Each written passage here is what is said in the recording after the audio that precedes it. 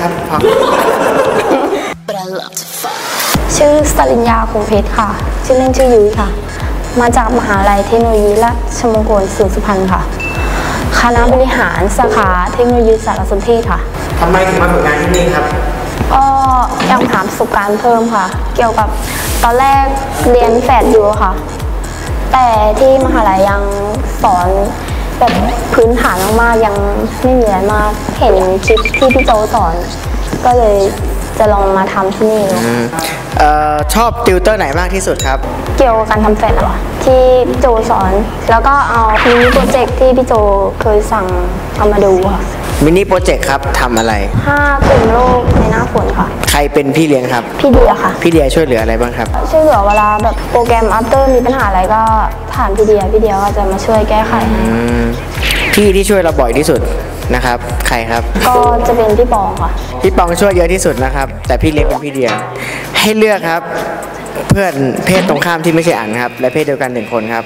พี่ฝ้ายกับเบนค่ะทำไมถึงเลือกฝ้ายครับ เหมือนสนิทกับเขาเขามาอยู่แบบมารุ่นใกล้ๆเคียงกันอะมีอะไรก็ถามเขาได้ แล้วเบนนะครับ มันก็มาสนิทแล้วหลังๆอะมีอะไรก็ถามได้ครับ ดูแล้วเขาไม่ยิงเขาก็บอก คนคนคนอื่นจริงนะเนี่ย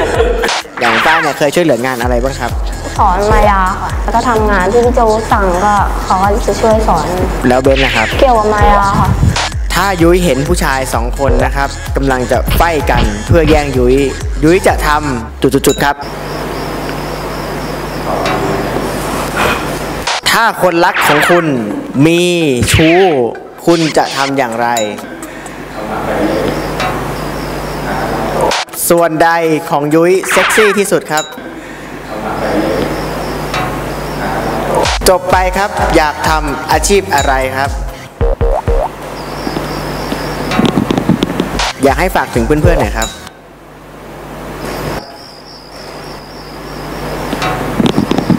และฝากถึงพี่ๆครับ